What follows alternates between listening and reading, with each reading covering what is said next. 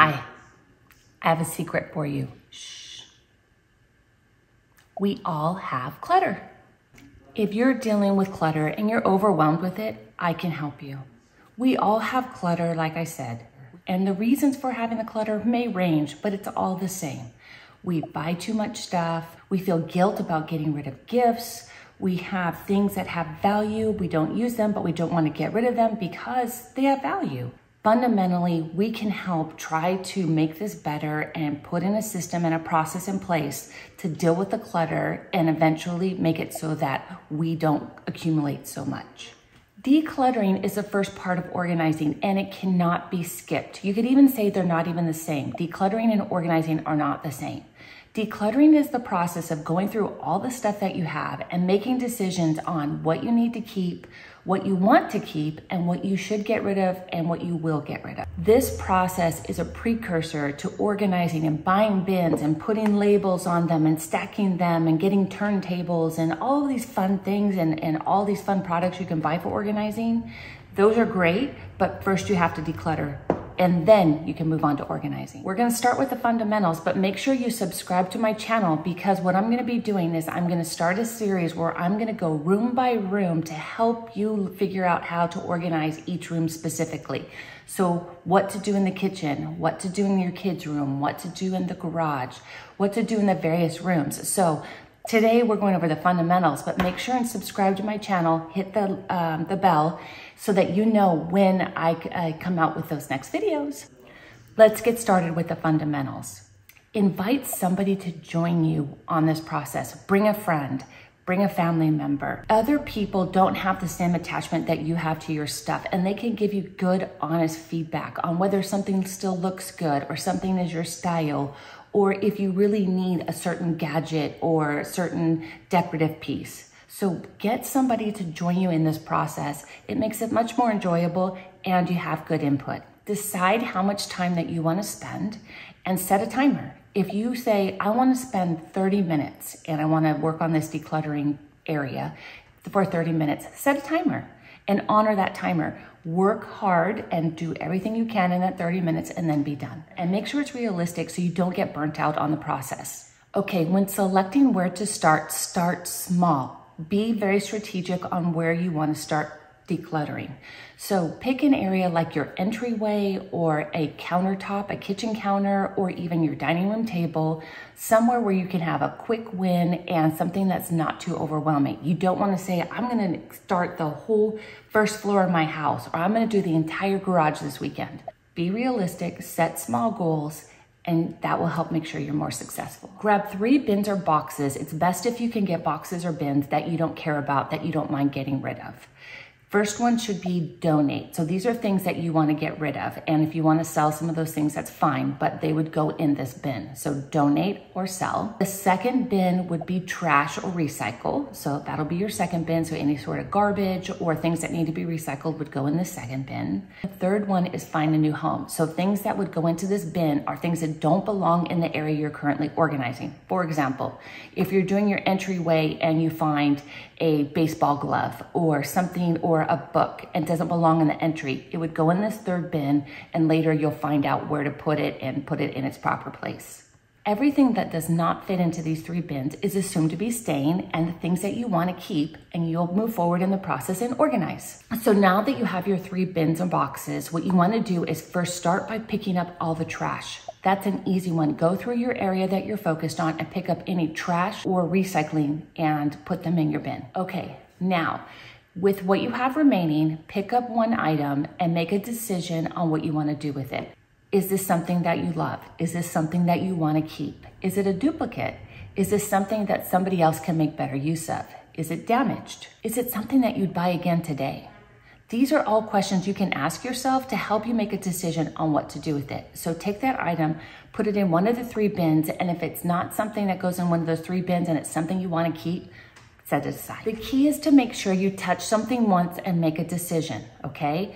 And chances are, if you haven't used whatever item you're looking at in a year, you don't need it.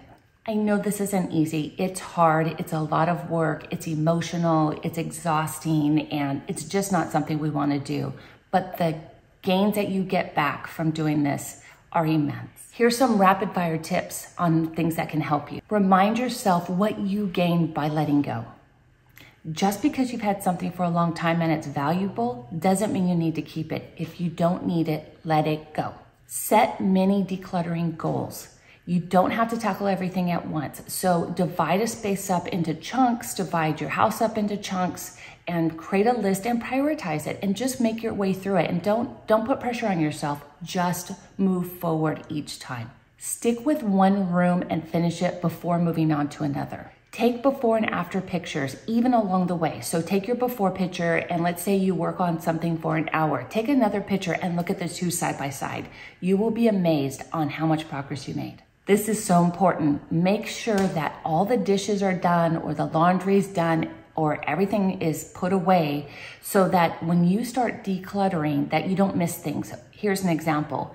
If you don't have your laundry done and you're decluttering your linen closet and you later find that you had a whole bunch of stuff you didn't consider or put into the process, that would be very discouraging. So just make sure all the laundry's done, the dishes are done, and anything else is put away. So important. If you have something that you're truly on the fence on and it's just really bothering you and it's emotional and you're getting stuck, here's what I recommend.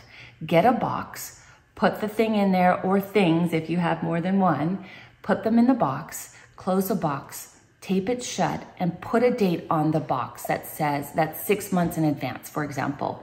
So Put this box, once you've done that, put the box away, put it in your garage, put it in a shelf, put it somewhere, right? And make a commitment to yourself that if you don't open that box by the date that you put on it, let's say six months from now is December 31st, you wrote December 31st, and it's December 31st and you find that box, you haven't opened it, go and donate it. It means you don't need it. That way you can have some safety and comfort that you're not letting go of something that you know, you're really concerned about doing it, give it time and let it settle, but honor the date that you put on the box.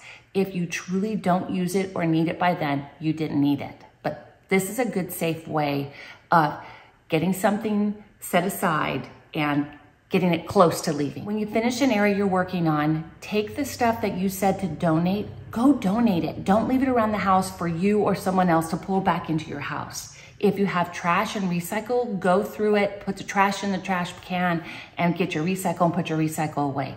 Always be emptying your bins. Keep your bins or boxes, but, or you can leave them and create new ones, but, um, make sure that you're getting rid of stuff. Don't let your trash pile up. Don't let your donate stuff pile up. Once you have enough to go drop off at a charity or wherever else you want to take it, go do it. For kids' toys and belongings, one thing that can help is create a rotation system. So instead of maybe donating or giving stuff away, take stuff and um, maybe split their belongings up into threes, right? So take their toys and split it up into three different boxes and create a rotation system. So each month you box up their stuff and you pull out another box.